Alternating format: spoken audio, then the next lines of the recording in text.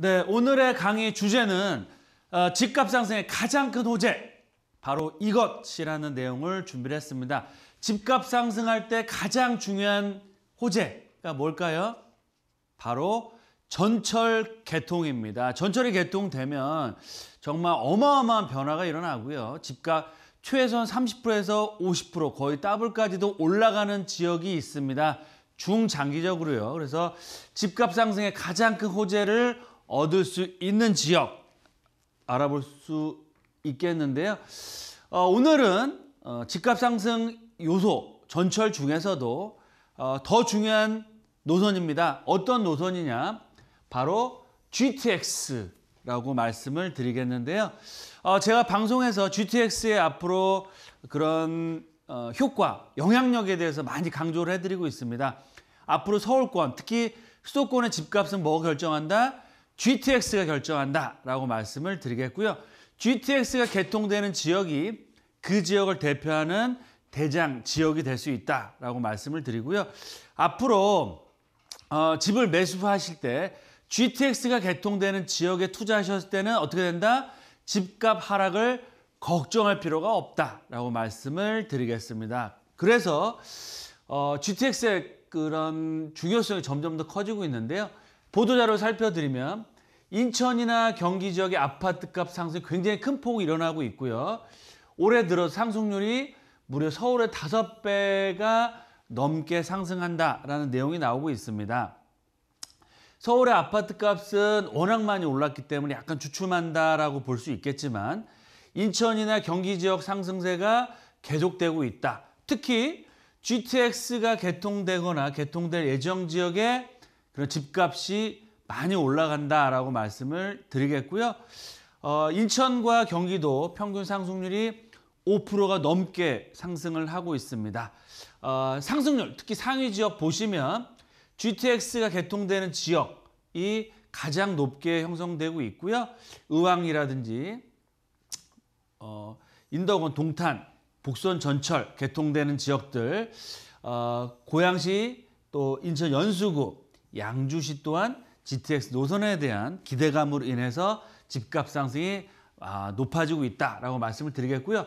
다른 또 보도자료 살펴드리면 아, 고양시장에 어디를 방문했습니까? 바로 GTX가 공사되는 현장에 방문을 해서 어, 어디까지 공사가 됐냐 직접 어, 체험을 하고 보도자료가 나왔는데요. 어, 개통이 되면 고양 킨텍스에서 강남까지 몇 분? 20분이면 될 수 있고요. 그 날이 점점점 다가오고 있다라는 기사 내용까지 나오고 있습니다. 보시는 것처럼 정말 GTX가 바로 우리의 현실, 어, 특히 A노선 같은 경우는 공사 중에 있기 때문에 바로 다가왔다라고 말씀을 드리겠고요. 어, 집값 상승의 가장 큰 호대 뭐다? 바로 GTX라고 할 수 있겠고요. 그 중에서도 세 가지 포인트로 말씀을 드리겠습니다. 첫 번째, 집값 상승과 가장 확실한 호재, 바로 GTX라고 말씀을 드리겠고요. 두 번째, GTX 중에서도 A 노선이 가장 주목해야 되는 이유가 있습니다. 왜 그럴지 알아보겠고요. 세 번째, GTX 역세권 2,000세대가 넘는 브랜드 대단지로 바뀔 수 있는 아파트 입주권까지도 받을 수 있는 지역 어딘지 알아볼 수 있도록 하겠습니다. 첫 번째로 집값 상승과 가장 확실한 호재 뭐라 그랬죠? 바로 GTX 전철 교통이 신규로 개통되는 지역이다. 어, 말씀드렸던 것처럼 집값은 철도를 타고 올라간다. 올해 1분기에 가장 많이 오른 지역 공통적인 분모는 바로 GTX다라고 말씀드리겠고요. 어, 서울에서 먼 지역일수록 가격 상승폭이 커지고 있다라고 말씀을 드리고 있습니다. 특히 인천, 인천이나, 인천이나 남양주, 일산 같은 경우 집값 상승이 좀 덜했던 지역인데요. 이런 지역 위주로 해서 집값들이 많이 올라가고 있다. GTX를 통해서 서울 주요 업무 지구, 즉 직장이 많은 지역이죠. 도심권, 여의도, 강남권의 접근성이 좋아지기 때문에 앞으로도 GTX 개발과 개통에 따른 꾸준한 집값 상승, 집값 상승을 예상해 볼 수 있고요. GTX가 개통되면 서울과 수도권의 부동산의 판도가 바뀝니다. 그 정도로 중요한 이슈이기 때문에 가장 큰 호재다라고 말씀을 드리겠습니다. 두 번째로 왜 GTX 노선 중에서 A 노선에 주목해야 되는지 세 가지 포인트로 말씀을 드리겠는데요. 첫 번째로 GTX A 노선이 가장 중요합니다. 왜 그러느냐?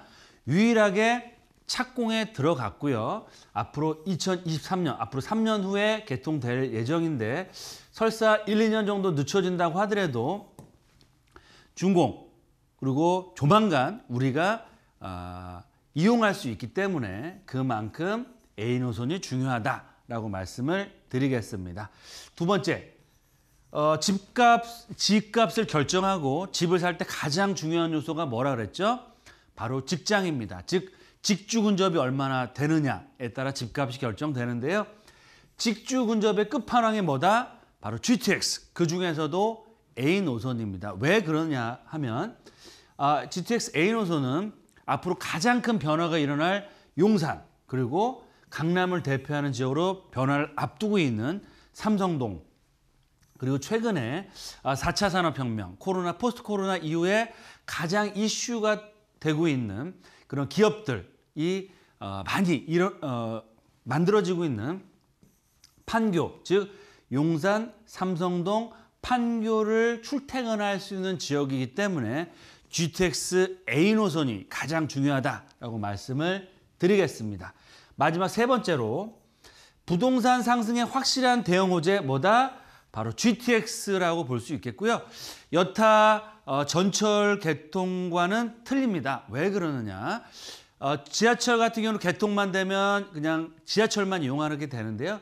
GTX가 개통이 되면 GTX를 역세권을 중심으로 해서 더블 역세권 되는 지역이 굉장히 많습니다. 이런 지역은 상업 업무 시설의 복합 개발, 또 주변 지역의 재건축이나 재개발이 앞으로 활발하게 일어날 수 있기 때문에 그만큼 부동산 상승의 가장 큰 호재가 바로 GTX 노선이다라고 말씀을 드리겠고요. A 노선 파주 운정을 출발해서 연신내 역세권, 서울 역세권, 삼성동, 또 판교, 동탄까지 이루어지기 때문에 어, 외곽에서 어, 도심권이나 강남권까지 20분 대면 출퇴근할 수 있는 정말 혁명이다라고 표현할 정도의 큰 변화가 일어날 수 있고요. 이런 변화에 따라서 앞으로 큰 폭의 집가 상승과 집값 상승을 나타낸다라고 말씀을 드리겠습니다. 그럼 세 번째로 마지막으로 어, GTX가 개통되고요. 역세권이면서 정말 2,000세대가 넘는 브랜드 대단지 아파트 입주권으로 바뀔 수 있는 지역 얼마나 좋을까요? 그만큼 투자 가치는 정말 생각하지 못할 정도로 큰 폭의 시세 상승을 볼 수 있는데 그 지역이 바로 어디다? 연신내 역세권이다 라고 말씀을 드리겠습니다. 왜 그러느냐? 보시는 것처럼 지금 3호선과 6호선 어, 더블 역세권이고요. 거기다 GTX까지 개통이 됩니다. 즉 첫 번째로 보시는 것처럼 3호선, 6호선, GTX A 노선이 개통되면 무려 트리플 3개의 전철 역세권으로 바뀌는 지역이고요. 역세권 쪽으로는 지금 어, 상업 업무시설로 어, 지구 단위 계획에 의한 고밀 개발이 준비되고 있, 있습니다. 두 번째로 이 연신내 역세권 주변 지역의 일부 지역은 2,000세대가 넘는 브랜드 대단지 신축 아파트 민간 재개발 방식으로 개발을 추진하는 지역이 있습니다. 이런 지역 같은 경우는 시간상의 문제일 뿐이지 앞으로 트리플 역세 권역의 서부권을 대표하는 가장 신축 브랜드 대단지 대장주의 아파트 단지로 바뀔 가능성이 점점 더 커지고 있다라고 말씀을 드리겠고요. 주변 지역의 재건축이나 불광 3구역, 독바이 재개발, 대조 1구역, 5구역 가련동 재개발의 이주 수요와 개발의 압력이 점점 더 커지고 있기 때문에 앞으로 GTX 개통에 따른 연신 역세 권역의 지가는 앞으로 꾸준히 올라갈 수밖에 없다. 따라서 세 번째 마지막으로 여신내 역세 권역은 일단 리스크가 거의 없습니다. 왜 그러느냐? 주변 지역의 다양한 재개발 이주 수요에 따른 임대가와 매매가 상승 거기다가 3, 4년 후에 GTX A 노선 개통이라는 확실한 호재가 정해져 있다. 따라서 앞으로 확실한 시세 차익을 얻어갈 수 있다. 금액상에 5천이 되느냐, 1억이 되느냐, 2억이 되느냐의 차이일 뿐이지 시세 차익은 확실히 정해져 있고요. 거기다가 재개발까지 본격화됐을 때는 2,000세대가 넘는 브랜드 대단지 아파트의 시중 아파트 그리고 집주인이 될 수 있고요. 정말 1억 전후에 정말 초소액으로 앞으로 가장 큰 시대 차익과 어, 시축 아파트의 입주권을 가진 소유자가 될 수 있는 기회까지도 잡을 수 있다라고 말씀을 드리겠습니다. 재개발 이슈로 인해서 연신내 역세권 리스크는 좀 다운된다, 제로가 될 거다라고 또 긍정적으로 이야기를 해주셨는데요. 자 그렇다면 투자 방향과 투자 전략을 어떻게 세우는 게 좋을까요, 전문가님? 네, 투자 포인트는 딱 세 가지로 정리해서 말씀을 드리겠습니다. 첫 번째, 어, 지금까지 투자를 하셔서 수익을 많이 보셨던 분들은 말할 것도 없고요. 어, 투자를 잘 못하시거나 기회를 놓치셔서 이번 상승장에 수익을 못 보셨던 분들에게 말씀드린 내용인데요. 연신내 역세권 정말 리스크는 거의 없습니다. 그만큼 리스크는 없고 앞으로 큰 호재에 따른 시세 차익과 입주권까지 기대해 볼 수 있기 때문에 연신내 역세권에 대해서 승부를 걸어라 라고 말씀을 드리겠고요. 지금 가격대가 많이 올라간 지역들 투자 금액이 5억, 7억 들어가는 지역들 투자하기 쉽지가 않습니다. 1억 전후라는 정말 소액으로 승부를 걸 수 있는 지역이 바로 어디다? 연신내 역세권이다 라고 말씀을 드리겠습니다. 두 번째, 어, 소액 투자 1억 전후에 투자 금액으로 투자할 수 있겠고요. GTX 개통이라는 큰 호재에 따른 시세 차익, 임대가 상승, 거기다가 재개발에 따른 아파트 입주권, 즉 투자의 삼박자를 모두 갖춘 지역이 어디다? 바로 연신내 역세권이다 라고 말씀을 드리겠고요. 하지만 연신내 역세권역이 전부 다 개발되는 것이 아닙니다. 연신내 역세권 중에서 지금 개발을 추진하는 지역들도 일부가 있고요. 일부 지역은 또 지역주택조합, 일부 지역은 올 하반기부터 개발을 준비하는 지역이 있습니다. 따라서 이런 지역들을 면밀하게 꼼꼼하게 체크를 하시고 투자를 하셔야 큰 수익을 얻을 수 있고 아파트 입주권을 받을 수 있는데요.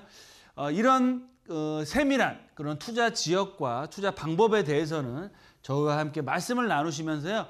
한 지역 한 매물 한두 매물만 보시고 투자할 게 아니고 연신내 역세권에서도 최소한 두세 군데 이상의 지역과 매물을 비교하셔서 개발 방향, 속도, 또 투자 금액에 따른 맞춤형 투자를 하셨을 때 앞으로 큰 수익과 아파트 입주권까지 받을 수 있는 그런 성공적인 투자자가 될 수 있다라고 말씀을 드리겠습니다.